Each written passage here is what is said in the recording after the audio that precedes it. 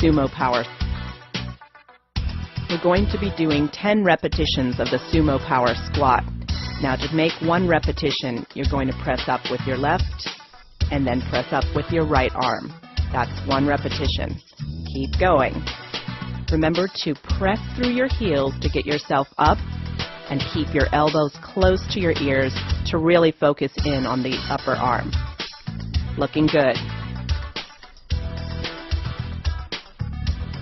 Now to make this move a little easier, you can do a traditional squat where your feet are shoulder width apart. The sumo's a little bit tougher since you're taking that wider stance and turning out your toes.